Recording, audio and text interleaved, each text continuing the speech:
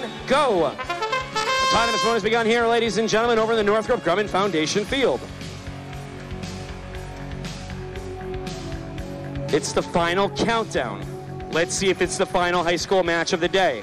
We're about to find out.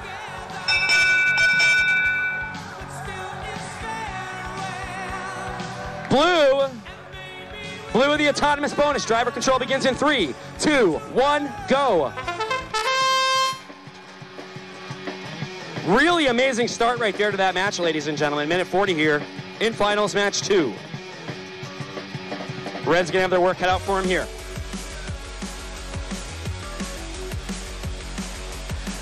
It is advantage blue currently with a 1 0 lead here in the high school finals. Now you're seeing some cap scoring. This is interesting. Haven't seen a lot of this yet. Blues looking to play a little bit of defense on the red cap. Let's see if they can do it here. See if they can wipe those two points away.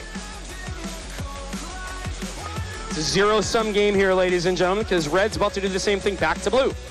Minute left here, match number two of our high school finals. Will we crown a world champion or will we go to a third and decisive final match? We're going to find out. Both teams attacking the flags.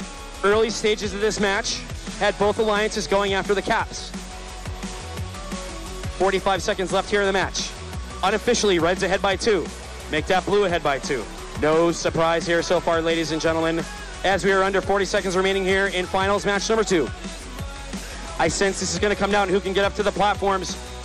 30 seconds remaining here in the match, and down the stretch they come here on the Northrop Grumman Foundation field. Are we going to have a Blue World Championship? Are we going to a third match? We're going to find out here. The flags are going back and forth. There have been several lead changes here in this match. No big surprise.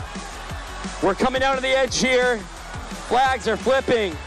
Every point counts. There goes blue for six. Let's see if they can hold that position in five, four. Here comes the test of strength. Three, two, one. Who's it going to be?